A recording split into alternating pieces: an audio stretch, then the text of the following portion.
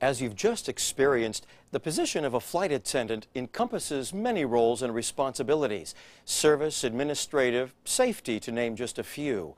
And of course, the ability to interact with our customers in a way that they will want to return time and time again.